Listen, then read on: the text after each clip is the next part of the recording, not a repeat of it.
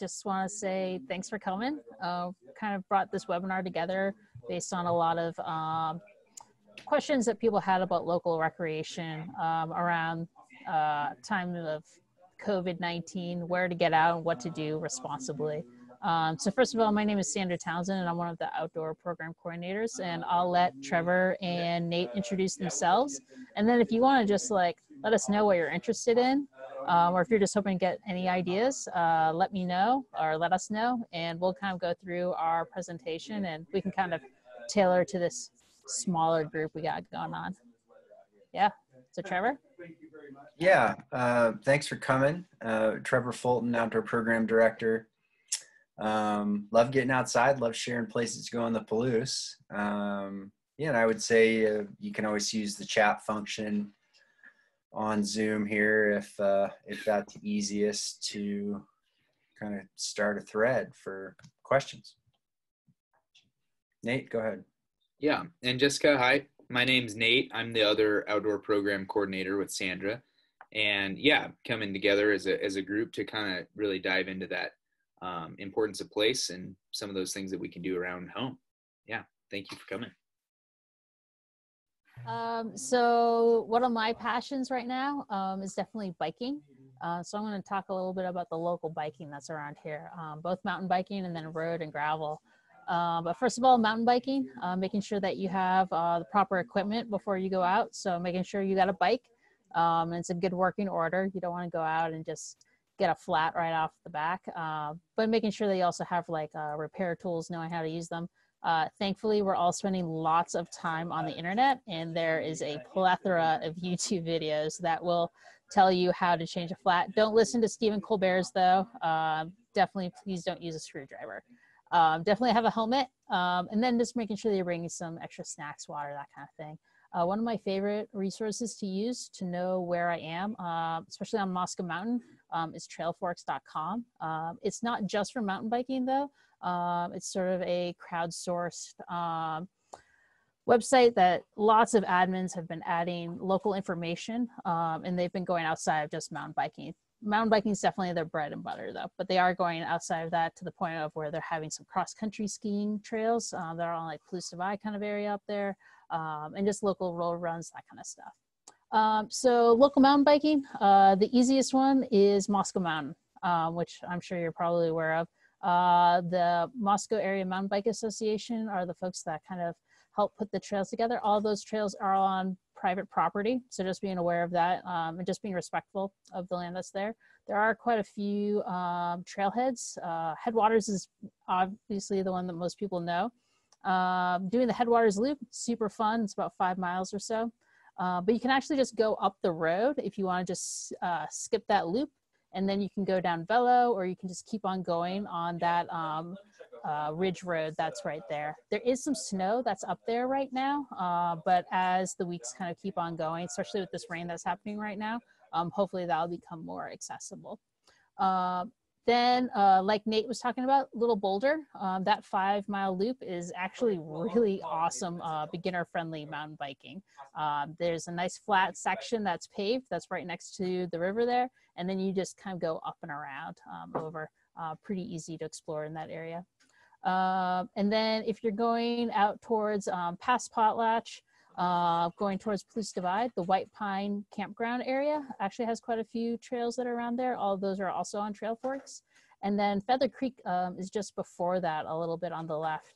Um, and that's uh, pretty beautiful also. Great place to have a nice hike. Uh, the hardest part right now is probably actually driving into probably has a bit of snow still right now, but hopefully that'll be burning off soon. No snow. Great. Uh, so that's where I'm going this weekend, apparently. um, and uh, rumor has it that there might be a couple mushrooms um, that you can find up there also. So I, um, I, can't I can't speak to snow on the trail, but you can get to the trailhead. You can get the trailhead. Awesome. Um, there's actually some camping around there. Uh, one of the things to note, though, with all of these areas um, that are on public land, is that most of them are not being maintained right now, since a lot of the staff um, aren't exactly going out. So there might be down um, trees uh, and things like that. So just being aware of that situation. Um, restrooms and such are probably not getting quite as maintained as often. So just making sure that you're uh, packing in and then pack out what you've got. Um, and if you feel like getting some trail karma and you have a little saw, like, you know, feel free. Um, so that's kind of mountain biking. Um, and again, there's lots of trails that are on Moscow Mountain. Um, and also kind of beforehand, you probably already know this, like um, there's Idler's Ridge, um, Idler's Rest, sorry, that's kind of in that area. Uh, that's on Moscow Mountain. And then West Twin Road is also an area that you can park up next to the gate. Um, and then you can kind of walk up the road up there and getting up to West Twin where the towers are. Um, and there's a pretty spectacular view from there also. Um, and then you can also access from the Troy side. My guess is that there's still a little bit of snow that's over on that side. There's a little bit, but if you're just walking the road or if you're keeping on kind of the south facing side of the mountain, most of it's out. All burned out. Nice. Yeah. Yeah. And then there's going to be little patches of snow well into June, um, just in little hidden areas and such, like the cedars or just the north facing stuff. Um, and then road and gravel biking. Um, the Palouse is rich in uh, lots of asphalt and gravel um, roads. Um, again, just making sure that your gear is in good um, order. Uh, the real easy, low hanging fruit is going to be the Latah Trail up to Troy. Um, you can keep on going through that and go down to um, the Little Bear kind of um, area down there. You can also beforehand, if you want to go, you can connect up onto Lenville Loop. And then you can also uh, go to Orchard Loop, uh, which is going to be just north of that trail. Um, and that adds a good 40 miles um, total loop if you want to do that. That's actually one of the only fully roaded um, like asphalt loops that's in Latah County. Um, so if you're completely allergic to gravel, that's as far as I know, the only loop that you can actually do. Uh, but if you are into gravel, there's a plethora of options. And then obviously, um, if you want to go um, west, you can go on the Trip, uh, Chipman Trail out to Pullman. And then there's lots of stuff that's going to be north and south of Pullman that you can kind of add on. One of my favorites is go out to Albion um, and then just go on the other side of 95, find some roads, get a little lost, come back kind of deal. Takes a couple hours kind of um, and then, yeah, gravel rides. Uh, there is lots and lots of gravel. Uh, one of my personal favorites is to actually just go uh, north of town before I hit the mountain. Um, and then just go to Troy, kind of on the back roads, go through uh, Robinson Park, that kind of area. Super pretty in there. Um, and then, yeah, you can go south into Genesee, Juliaetta. Uh, that's going to be a longer uh, gravel grind. the last time I did was like took 60, 65 miles, something like that. Uh, so it takes three or four hours, making sure that you're well provisioned for that. Um, along with any uh, mountain biking or sorry, any road or gravel biking, uh, there is definitely going to be uh, a wind situation. Uh, so just being aware, um, maybe timing uh, your ride so you're not fighting the entire time. Uh, yeah, and then uh, Palouse Divide is a little bit further of a drive uh, if you want to go on Forest Service roads. And then probably the best kept secret is just on the other side of town, and that's Paradise Ridge. It is a little bit of a brutal climb getting up to the top on the road, uh, but the view is incredible. And there's actually little mountain biking trails that go down if you want to gravel grind on those uh, coming back into town. Uh, pretty rare to find anyone else up there. So, yeah.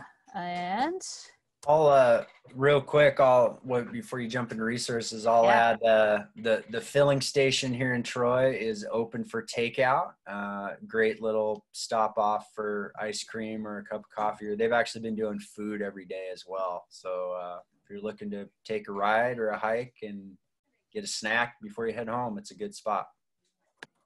Heck yeah. So yeah, um, places where you can find other resources. Um, our website, uh, uidaho.edu slash outdoor program. Um, if you go on the resources and then um, at the bottom, there's this regional outdoor activities. If you click on that, uh, there's a whole lot of uh, PDFs that are gonna have a whole list of different activities that you can do. Um, and then we have uh, different conditions. So you don't have to search the and scour the internet to see uh, weather river conditions. Just go on our website and we'll get up all the links. Um, like we were talking about, American Whitewater is a great resource. Trail Forks is another great resource. Uh, Strava is all user-based data. Uh, kind of, uh, if other people are using Strava, it collects um, your data of where you went. Uh, one of the coolest res uh, resources they have is their heat map. So you can actually see what are the most popular routes in the area. Um, it's just an interesting way of seeing uh, where people go um, if you can't find other people to get beta. And then the Mamba website um, definitely has some information. And then I think one of the best riches, rich places to get um, information is just local Facebook groups. Uh, like Nate was talking about, Palouse uh, Roadrunners have a good Facebook group. Mamba has a great Facebook group that they update all the time.